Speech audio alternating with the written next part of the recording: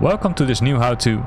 In this how-to we're gonna look at how we can fix the LVR climbing feature to keep blinking in the A32NX.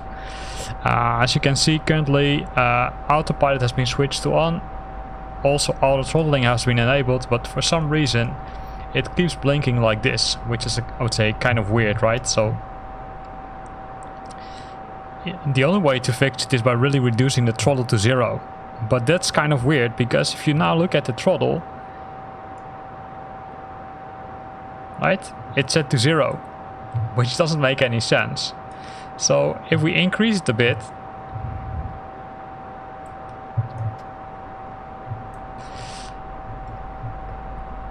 to the climb one, you can see that it fixes the issue.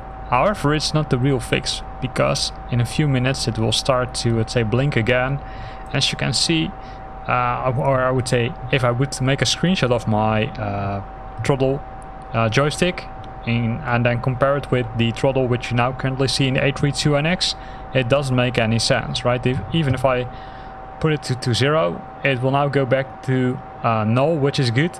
But in some cases I've seen that this one even goes back completely back to uh, reduced functionality and goes into reverse. So let's look how we can fix that issue.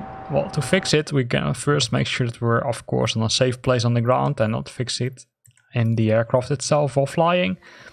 So we're gonna switch to one of the airports. Let's uh, say Lisbon and then uh,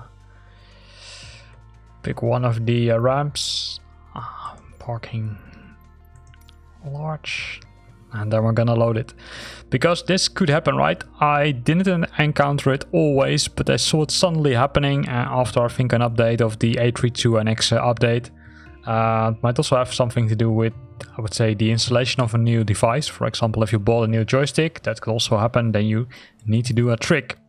And that trick is i would say is really simple. Uh, as you can see currently uh, the throttle has been set correctly but if that isn't the case, you need to go to the flypad because the flypad allows you to calibrate your device.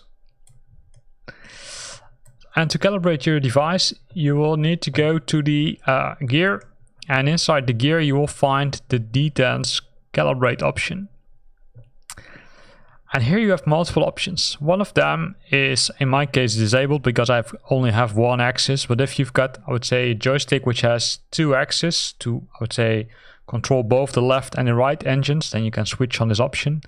And you also have the option to switch on or off the reverse on axis. And that simply means that you will have an option to go to, I would say, to put the throttle in a reverse stand, which means that you can, um, let's say, drive backwards with the aircraft.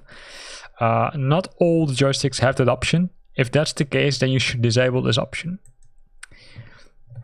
So now everything is set, we can start calibrating it. So if we want to recalibrate the idle state, which is what we're what we want to do right now, right? Because uh, as you can see, it's set to zero in this case, which is good, but we can recalibrate it.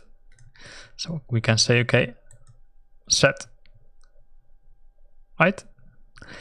Then we go to the climb one. And to set the climb one, we first need to put the throttle in climb state. So we're gonna do that. That's this one. And then again, we're gonna press set from throttle. Then we've got the FLX, which is the next option as you can see. So we're gonna go one piece further until you hear the click. And we press set from throttle again. And then we go to the touch and go, which is uh, most cases full throttle. And then press set from throttle again. So once you've done that, you've recalibrated your joystick, right? That that's I would say the way I would do it. Um, if for some reason you want to change the values or you bought a new joystick, you need to do this completely from scratch. There's also an option which is called uh, load from file, and then it will revert back to the previous settings, as you can see. Um, if you don't want to do that, uh, you need to hit back and then go to calibrate again and normally it should have it but it looks like that it now completely messed up the settings. So let's uh, see if it works. So this is idle.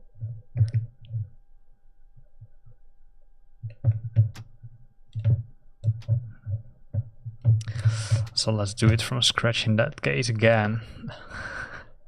You can see what happens now right? See after loading the defaults now if I put my throttle back to zero it's actually in complete reverse mode and that might be something I do not want.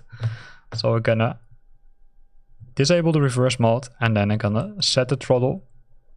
And then if you would look at the throttle again probably we need to calibrate it again.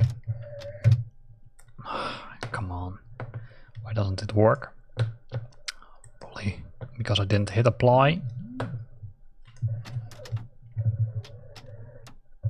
See, now it works. So don't forget to hit the apply button as I just, just forgot. So we're gonna reset the climb again. Oh. Set from throttle. And then we're gonna go to FLX.